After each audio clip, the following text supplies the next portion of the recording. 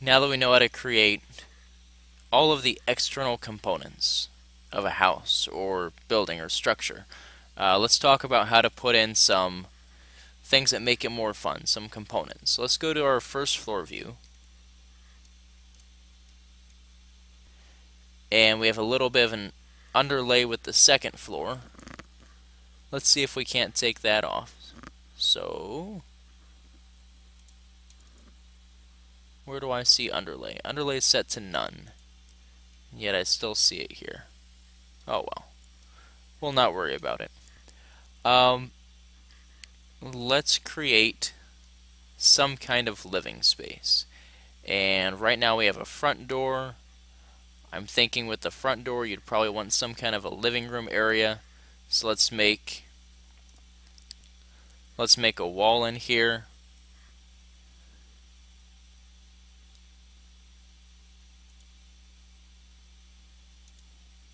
Here and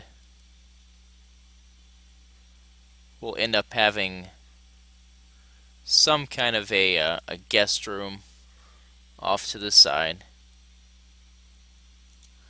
We'll modify the size of that in just a bit. Um, but what do you say we put in some kind of a kitchen here? We're going to go into architecture and let's just grab component and the default component it gives me is a light but we don't want a light. Let's put in something that belongs in a kitchen. So how about uh, a dishwasher sounds good. We'll start with that. So let's grab a dishwasher. We'll place it over here. You know what? We can make that into a laundry room. I'll make it smaller and a bathroom. Even better. And here, let me undo that for just a second. Let's talk about what happens when you, uh, or the reason why you'd put things in different places in a house. Uh, typically, especially here in the Midwest, you're not going to have any of your water lines sharing a same wall as the outside of your house. You're going to try to avoid it because in the wintertime when things freeze, uh, pipes can break and you don't want that kind of a mess inside your house. So right now we have a single dishwasher here, and I don't know what exactly that looks like. So let's uh, let's shrink that down for a second, and grab one of my cameras and just take a quick snapshot to see how this dishwasher is oriented. And yep, it looks like my dishwasher is not facing the right way at all. Not at all. Okay, let's go into view and let's make a tiled view. So here I can kind of see what's going on inside the house. Here I can play with uh, how things are oriented. So here I have this selected. If I hit my space bar, apparently it jumps to different sides of the wall. That's no good.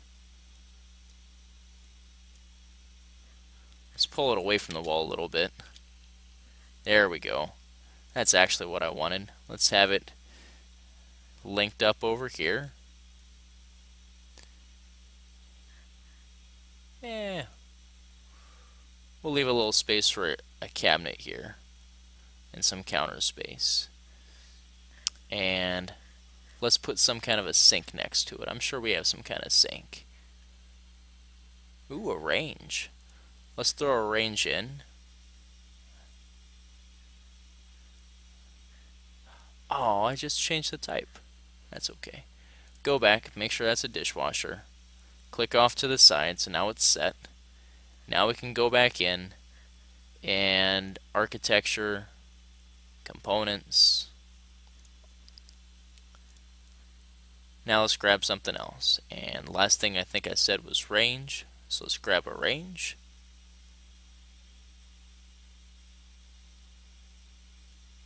Gas line's okay to have up next to the house, no problems there.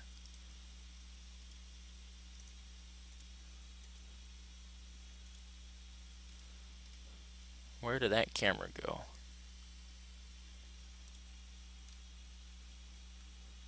Let's see if we can't just drag our border here. Oh, there's our camera. Hello, camera.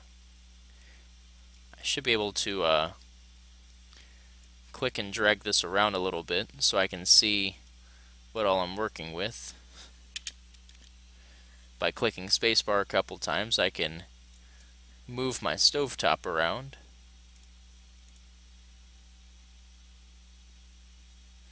And once you have things in here, you can kind of move them at will. Let's go and put the dishwasher all the way on the end. That'll be alright. And let's move the stove just a little further down the wall here. We have a little bit of a tight space. Let's go back into components. Let's drop in some kind of a sink. What do we have? We have a countertop with a sink hole. Do we just have a regular sink?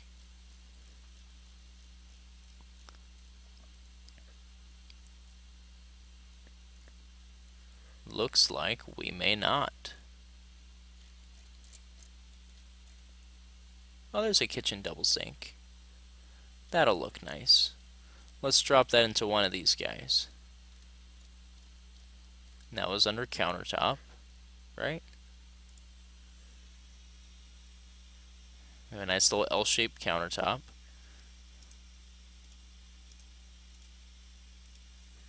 Spacebar, spacebar.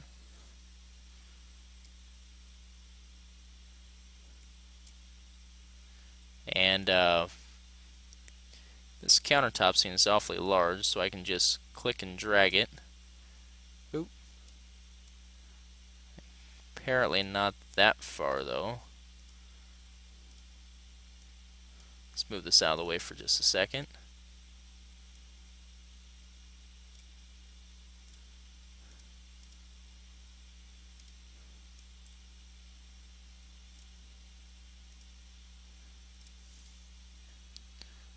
There we go.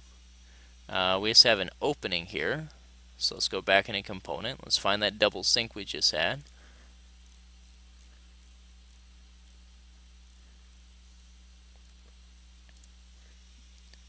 See if we can drop that right into place. And I can tell right away that's off.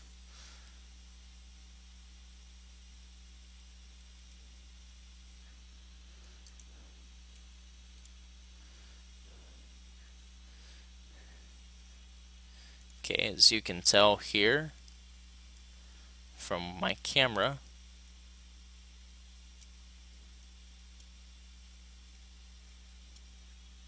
the uh, counters are empty underneath. So I'm going to to put something in there. If I go back under architecture again, I can grab a component. Let's get one of these lower cabinets upper cabinets are nice, but we want just the uh, the lower cabinets for now. And this one's for a sink unit, so that should be good. I'm not sure which one of these we want. Yeah, let's just grab one. Let's see what happens. If I center it up right under the sink here, that looks pretty good. Looks a little short though.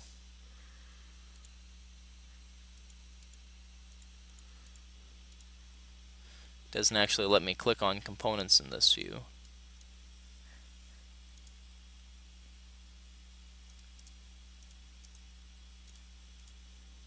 There it goes. Let's see what we can do about modifying that. So if I go edit type, Currently it looks a little short, so let's change the height from uh, 2 foot 5 all the way up to 3 feet. 3 feet is too high. Let's change the height down to uh, 2 feet 11 inches. That's a little bit closer. We'll call it 2 feet 10 inches. That looks about right. Okay. You know what? we put that one in backwards too.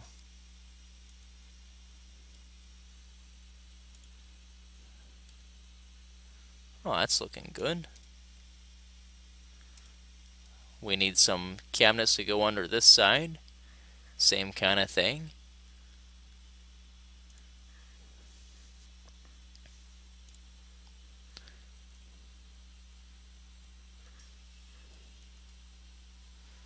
Yeah, let's wait on that. Let's grab some upper cabinets, double doors, 39 inches across and we will drop those here.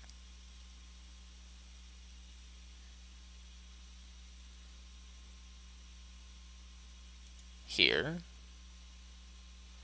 And we'll just keep going across if it lets us.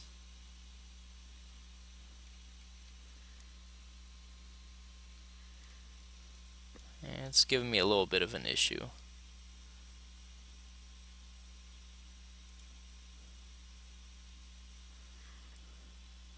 Let's see if it'll let me use the move tool.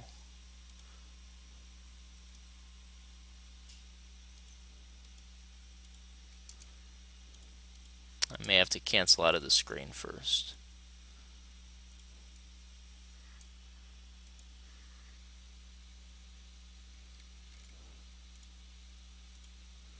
There we go. And butt those up right next to each other. And let's see if we can drop one more in place right here.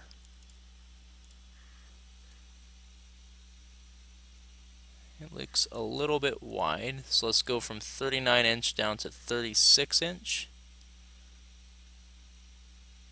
36 is still a little big. Let's go down to 33 then. There we go.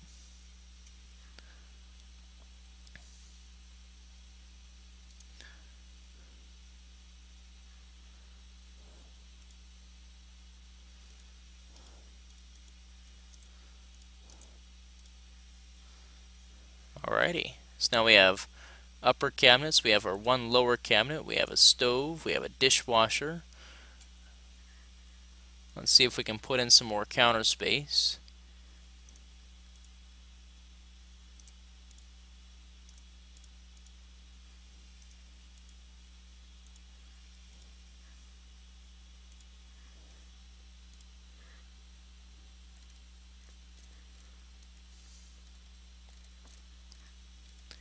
And I think you guys kind of get the idea of all this.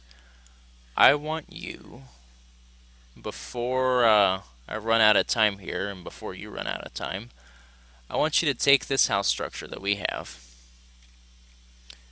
First off, um, get me a shot of this. I want everyone to have the same kitchen layout that I do right now in this particular picture. So get a printout of this 3D view.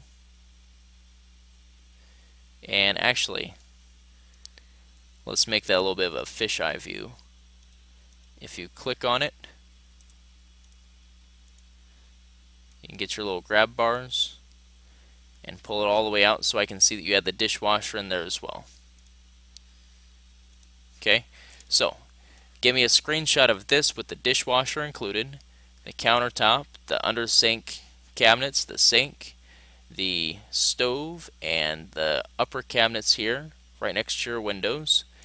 And then, after you get that printed off, I want you to go through and furnish the rest of the house as you see fit. This needs a washer and dryer. It needs sofas. I want a TV somewhere. Uh, you need bathrooms. So account for all of those things. Play around a little bit with this and make me a new screenshot of the first floor and the second floor. And the quiz will just be over what we covered in this particular video, which is a lot of the uh, placing components, rotating components, changing between things. But I want you to play around and see what all Revit has to offer. So good luck with that, and I'm looking forward to seeing it.